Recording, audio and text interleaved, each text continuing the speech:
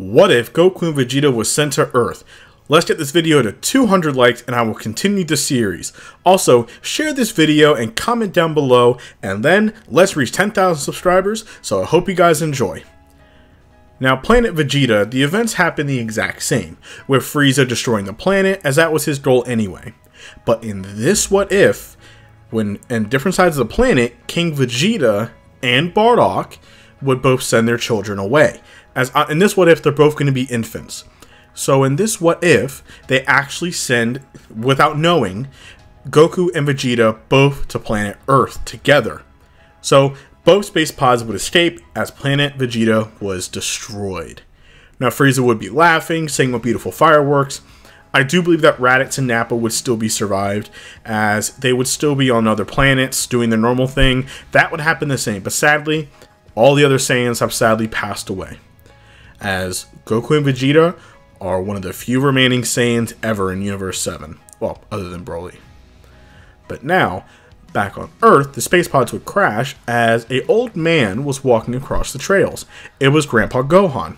He would actually see the two space pods as they would actually land right next to each other, and two little children or babies were actually out of the space pod crawling around.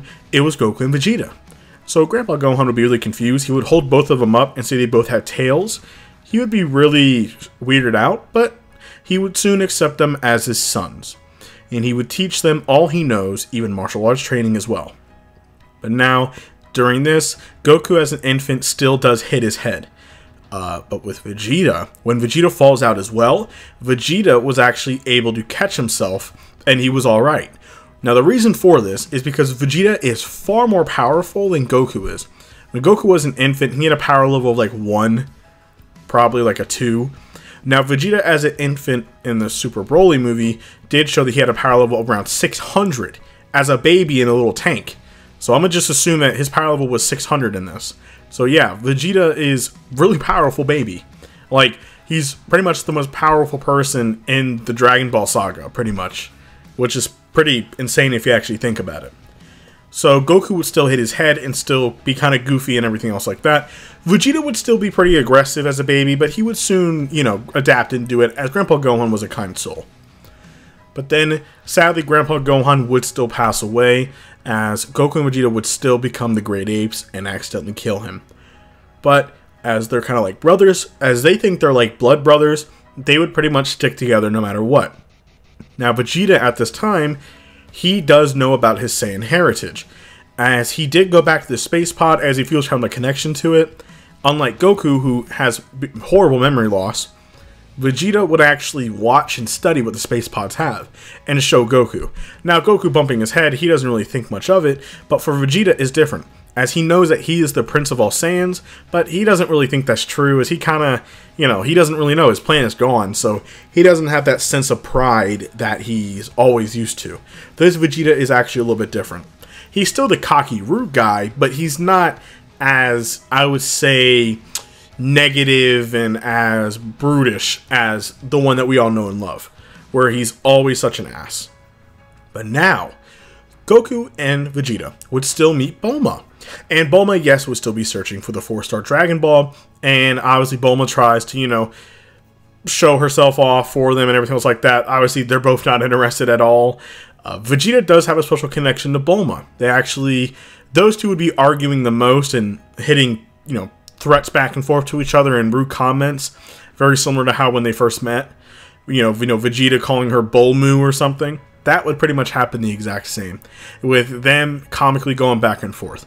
Now Goku was really clueless, but I think they would actually give her the Dragon Ball as long as they can come along, which Bulma would agree.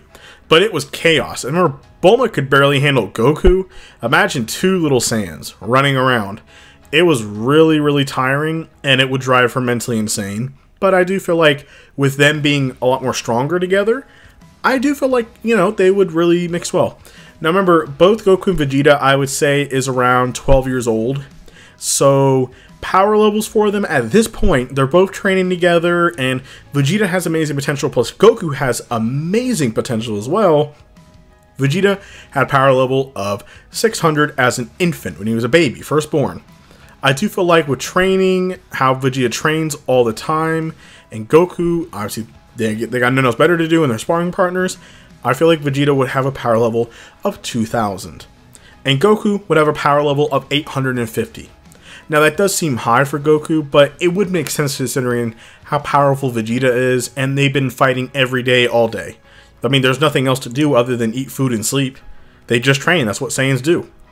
Now, Vegeta is not as powerful as he would be when he was 12, as a lot of people remember that in the original, I think Vegeta had a power level of nearly 12,000 when he was like 12 years old, back in the original Dragon Ball Z. Uh, but that's because he was on 10 times gravity on the on the planet, and he was also fighting Saibamen. Was like that. So I'm just giving him 2,000 for what it purposes. Now, most of the events would pretty much happen the exact same, just a lot more easier when they're dealing with threats and foes, because, I mean, just Goku himself, he can solo Dragon Ball right now. I mean, he can solo Dragon Ball. N not much of an issue. Vegeta can easily solo Dragon Ball. But now, they pretty much, Goku and Vegeta has a brother relationship, and they would still meet Master Roshi himself. And they would still train together, they would still meet Krillin. They would still meet Tien and Yamcha. Bulma, I do feel, would still fall for Yamcha. Now, Vegeta and Bulma would have that chemistry there, and, and you can just see that like they're meant to be together.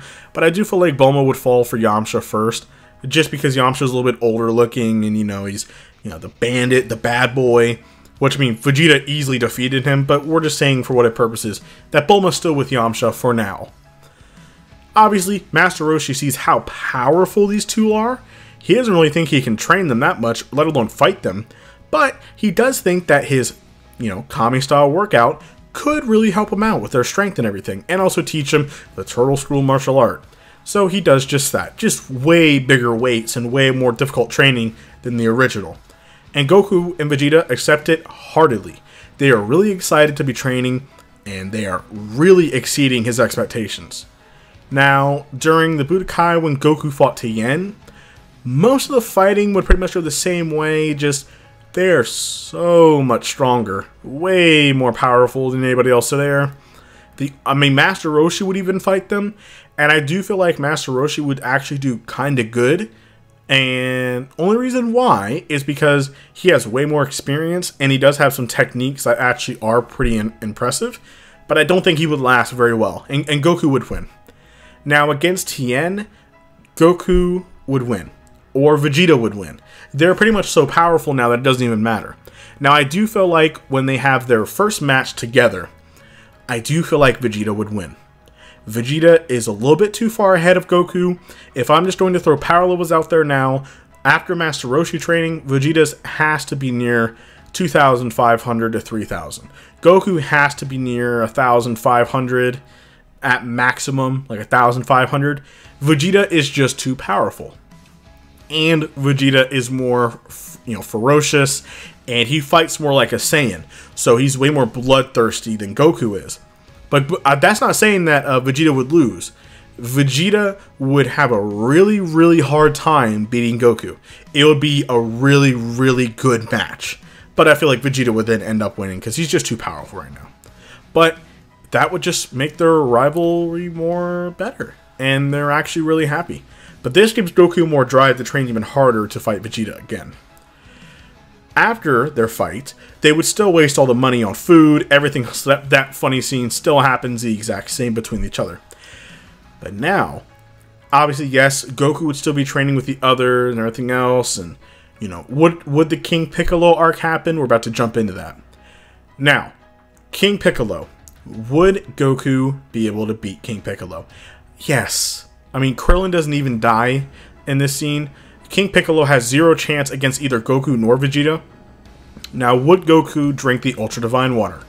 I think that he would.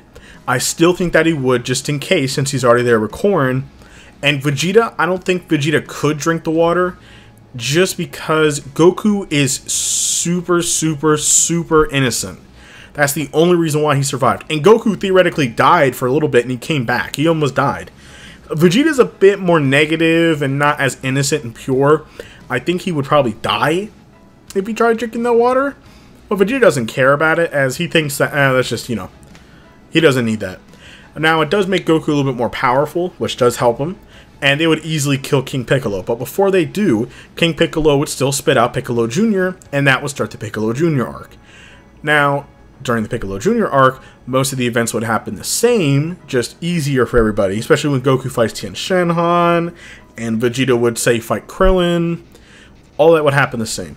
Now, Piccolo doesn't really care about Vegeta. He has a bone to pick with Goku.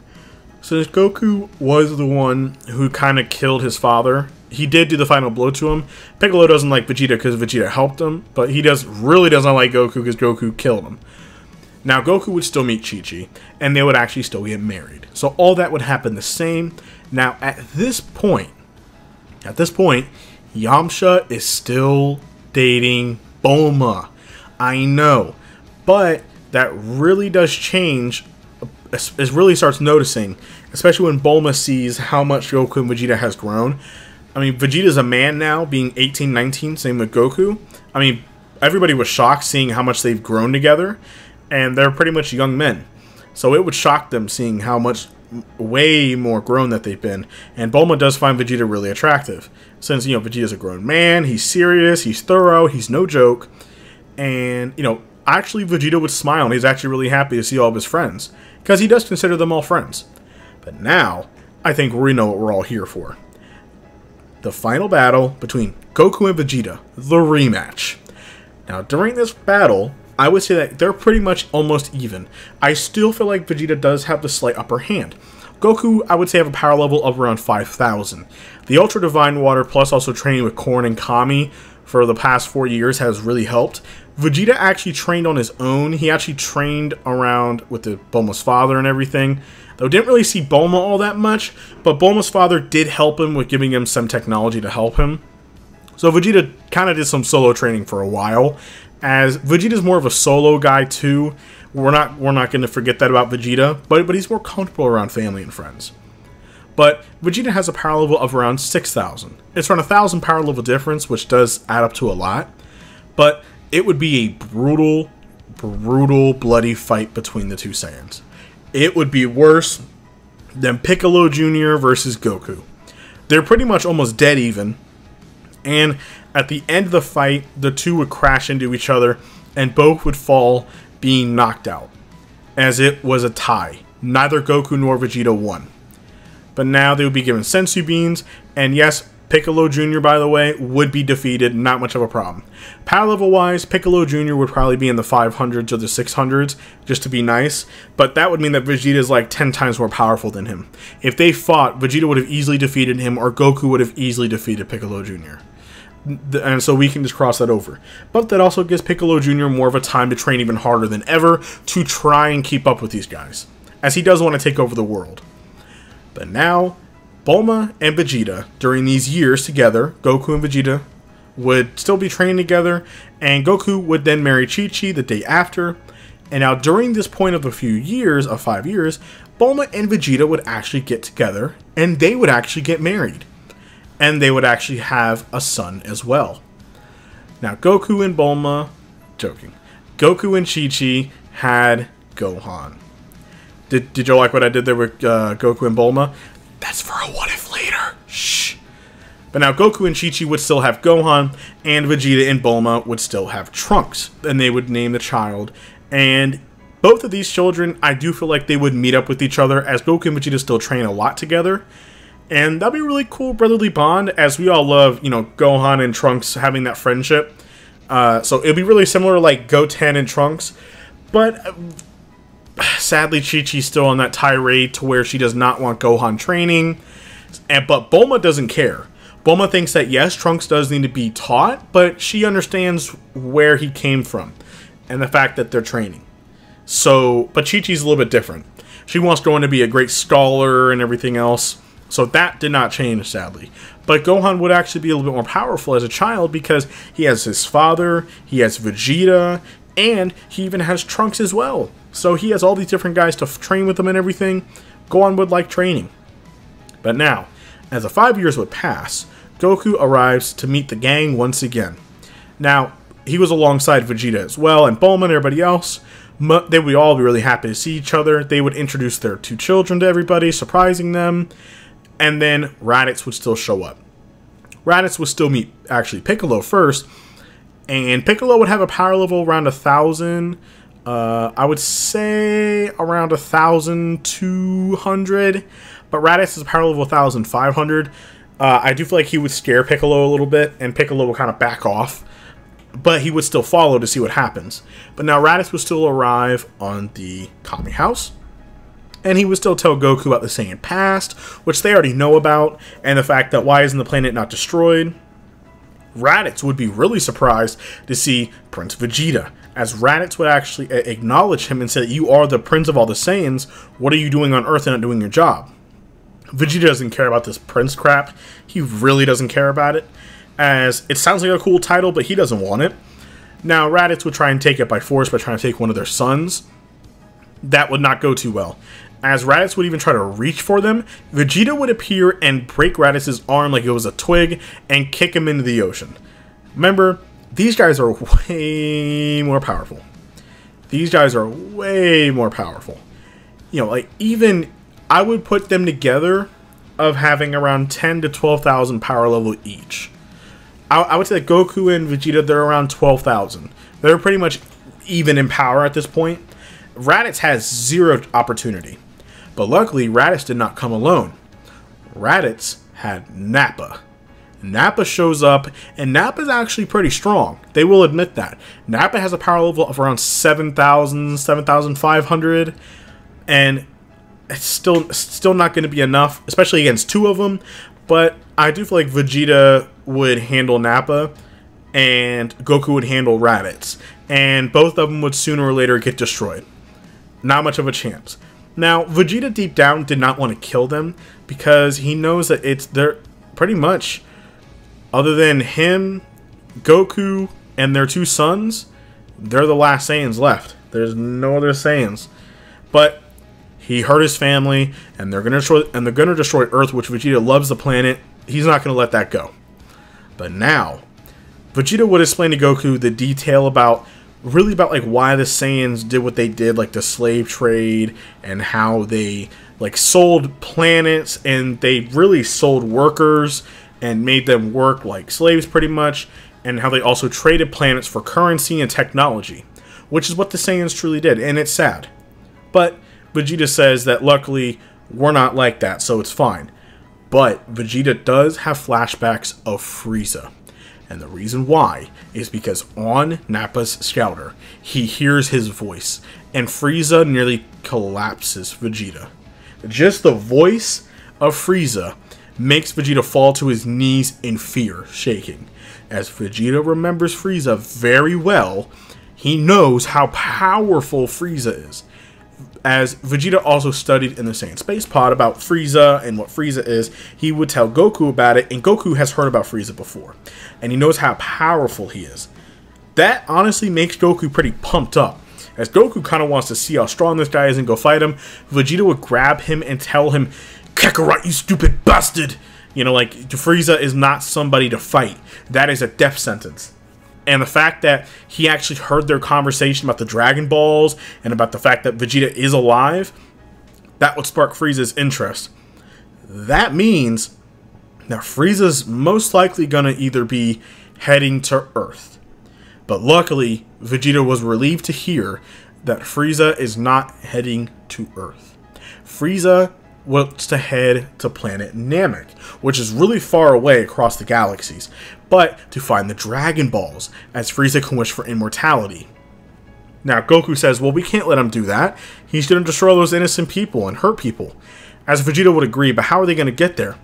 Then they remember the Saiyan space pods, as Bulma during this time has collected them and actually built a space pod. Just joking. She's built a giant space machine and also even added gravity training, as Vegeta does know that the planet does have 10 times gravity on planet Vegeta. So he says, why don't we try and stick to our Saiyan roots and add that so we can get naturally adapted? Which I feel like Bulma would agree to that. So that gravity room, Bulma will keep on adding more and more and more, as Vegeta actually already trained in a temporary or an experimental gravity room of around 10 times. It was really rough. But Vegeta was able to do it, and I think that Goku would try it out as well. They say, well, we need to get way more higher gravity and go to the planet. we can get senzu beans and everything, but Bulma says that we need to wait for about a year. Bulma will go with them, alongside Gohan really wants to go with them, and Krillin, so they have a whole team ready to go. Now, during the meantime of that year, Goku and Vegeta train hard, like never before. They would train for a year nonstop together to get as strong as possible and even train on the way to Namek. This means, by the way, since Goku never went to King Kai, no Kaioken, and there is no Spirit Bomb either. And that is it for this what if, you guys. Thank you all for watching. I hope you guys enjoyed the longer what ifs that I'm doing. Instead of like the 10 to 12 minutes, I am making them a little bit longer. Some of you guys have been asking me to do that, to make them like 20 minutes. It's not very easy to do it, but I am enjoying it because you guys asked for it and I give you what you guys want. Let me know what you think about this series. I have so many awesome ideas for it. And yes, I also noticed that you guys have been wondering what is with my thumbnails. Why has some of them had uh, the text on them, and some of them are like full arts pretty much. The reason why is just because I love doing full art thumbnails, and I also love doing text thumbnails. So as a matter of fact, comment down below if you made it this far, what type of thumbnails do you prefer? Do you prefer my thumbnails with the text on them, or do you prefer the thumbnails that are pretty much like a full art thumbnail? Let me know down in the comments down below. I love you guys so much, and I will talk to you all later.